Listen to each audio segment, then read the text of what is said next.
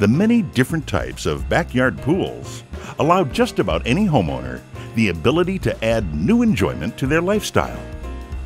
The most expensive pool type is generally a gunite pool.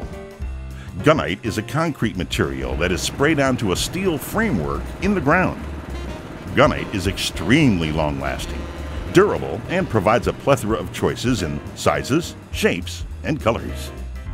A less pricey alternative to a gunite pool is a fiberglass swimming pool.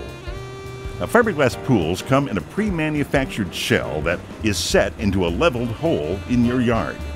Now, these pools provide a great selection of both sizes and shapes. A less expensive option for an in ground pool is a vinyl lined pool.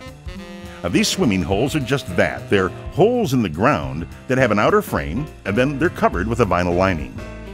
Vinyl pools can sport a variety of decking materials that give the pool a more permanent appearance. The least expensive type of backyard pool is the above ground model. Now, these pools come in ready to assemble kits that you can put together on your own or have your first pool party. Get a handful of buddies over to help you out. Above ground pools are completely portable and can be moved at will. The average cost for an above ground pool starts somewhere around $1,500 and can go up to the $5,000 range, depending on the size you choose.